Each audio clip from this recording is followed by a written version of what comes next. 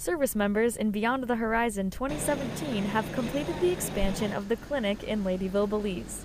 It has a waiting room capacity for 24 patients, male and female bathrooms, nurses station, pharmacy, asthma room, triage area, two consulting uh, rooms, staff lounge, and a storage room.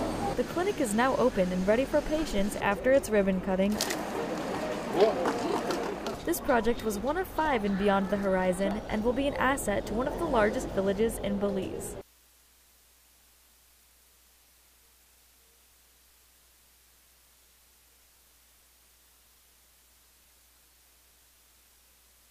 This mission also gave United States service members an opportunity to practice their craft. For reserve soldiers, it's a great uh, opportunity for us to practice our deployment, redeployment skills, uh, crafts, uh, and all those procedures that typically we don't get to do on battle center weekends. So. Reporting for Beyond the Horizon, I'm Private Maddie Florian.